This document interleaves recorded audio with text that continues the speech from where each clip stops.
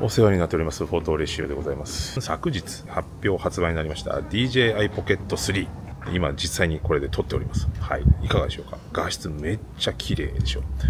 というわけで、5分でざっくり DJI Pocket 3の特徴をご説明していきたいと思います。その製品ラインナップなんですけども、単体版とクリエイターコンボです。単体版は本体と延長グリップ、そしてケースとケーブル。クリエイターコンボは、それに加えて広角レンズ、バッテリーハンドル、DJI Mic 2の送信機、キャリングポーチ。なので、おすすめとしてはクリエイターコンボ。まあ、特徴としては、あと三軸ジンバルを搭載した、まあ、アクションカムということでございまして、そのね、安定性はね、電子補正のアクションカムと比べてもかなり高いでございます。というわけで、走ってみたいと思います。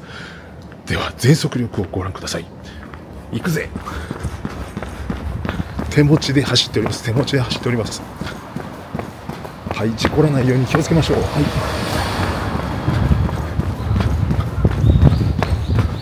という感じで安定度はねやはりかなり高いですね電源の立ち上がりも爆速でしかも電源切るとあのジンバルがちゃんとロックしますこれは素晴らしい撮影モードは静止画、パノラマ、動画、そしてローライトモードにスローモーションでタイムラプスが選べます。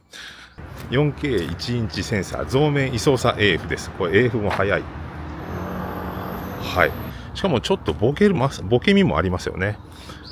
フル HD2.7K、あと 4K、それぞれ 24p から 60p までノンクロップで撮れます。スローモーションは 4K で 120p、フル HD で 240p まで回ります。しかもこれもノンクロップということで結構優秀なセンサーが載ってますね。で、操作系がですね、結構整理されまして、まず2インチの大きなタッチパネル液晶。これはね、縦横に切り替えながら使えるようになってます。えー、押し込み操作ができるジョイスティックに、えー、録画ボタンで操作しやすくなりました。特に画面の大型化が操作性の向上にかなり寄与していると思います。えー、縦動画の場合は 3K に、えちょっとなってしまいますけれども、縦動画がね、撮れるようになりました。え色なんですけれども、まずノーマル。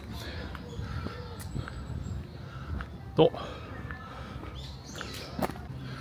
ハイブリッドログガンマ。そして D ログ。そう、10ビットでね取れるようになっています。はい。色も3種類ということでまあまあいいですよね。でデジタルズームは 4K で2倍までできます。はい、はい、日没の高田の馬場でございます。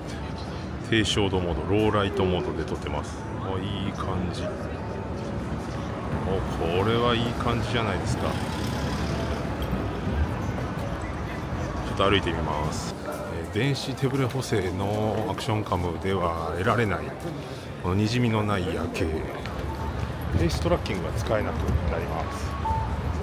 で美肌モードというのもついてまして、まあ、肌をきれいにしてくれるらしいんですけども実際どうでしょうか？はいおっさんの顔が綺麗になってればバッチリ、えー、クリエイターコンボについている広角レンズをつけるとこのように、えー、世界は広がりますマイクもねえー、ステレオで結構綺麗に撮れてるんじゃないかと思います。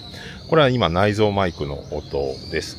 喋ってると喋ってる声にね、フォーカスしてくれたりとかするんですけれども、えー、黙ってると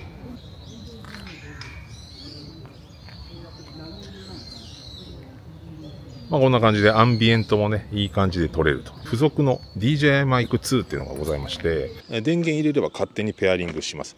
同梱してるのは1個なんですけど、え2波まで受けられるようになるようです。はい。音どうですかね。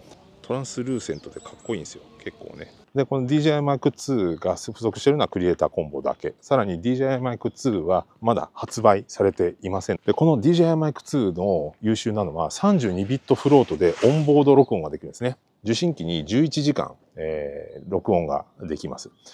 で、さらに録音と録画がリンクしてるんですね。録画止めれば録音も止まる。実は大相撲ポケット3はタイムコード機能がありまして、タイムコードを受けることができるようです。USB-C と 3.5mm をまあ接続すればタイムコードが受けられて、本体とこのマイクはタイムコードがすでに記録されて同期できます。なのでタイムコードもできて32ビットフロートも取れてということで結構優秀。はい、というわけでね、DJI Pocket 3ご覧いただきました。いかがだったでしょうか？えー、機材をね、富士屋カメラさんにお借りしました。ありがとうございます。えー、結論から言いますとですね、私これ買いますね。自分の手持ちの Vlog カムとかアクションカム全部処分してこれに一本化していきたいと、えー、思います。初めは全く買うつもりなかったんですけど、これすごいよ。すごい。はい。で、絶賛、ね、マイクも性能いい。絶賛すると嘘くさいんですけど、これは良かったね。とにかく、もう前の機種からはちょっとね、大柄になっちゃったんですけども、性能がね、段違い。